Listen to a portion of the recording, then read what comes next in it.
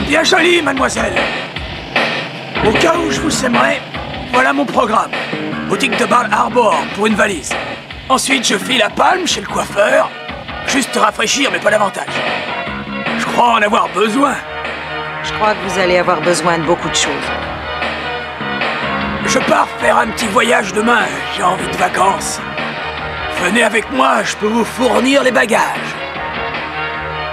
Si vous restez dans le coin, on vous enverra en vacances, nous Je vous envoie des cartes postales.